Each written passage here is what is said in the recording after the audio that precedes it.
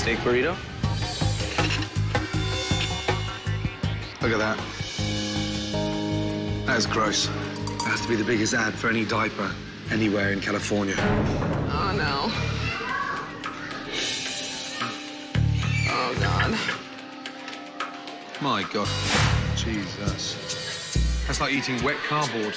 Have a taste of that, please. Bloody hell. The steak was gamey. It was kind of like a car wash, moist and mushy. Oh, my God. That is disgusting. Let me taste the steak. He says the steak tastes like shit. Did you grill him fresh steak for his burrito? Yeah. You didn't pull it from here, right? Didn't we taste everything before we put it out? Ugh.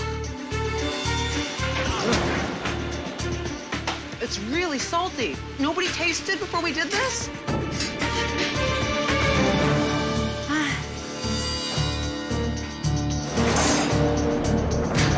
Damn it. When you have somebody come in that rips apart all of your food that, that I was proud of, it hurts a little bit. Emma, I'm so sorry. I'm not here to slag you off, however. I just want something fresh. After a lunch of disgusting dishes, Chef Ramsay has quickly realized why this beautiful restaurant is in an ugly situation. Come round, please. Thank you.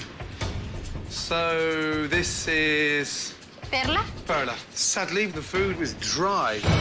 It's like eating processed food. Is the food today the same that you serve when you have a catering event? Yeah. You've been serving that crap? Why don't you do it properly? Because everybody loved my catering. It's completely two different monsters. It's not going to work. Coming out of a catering business, trying to run a restaurant that cost how much? 1.5. $1.5 million. Yes. Oh, my God. And I'm 350 in the hole right now on top of that. So you're in for just under $2 million. God bless your grandmother, but she must be turning over in her grave.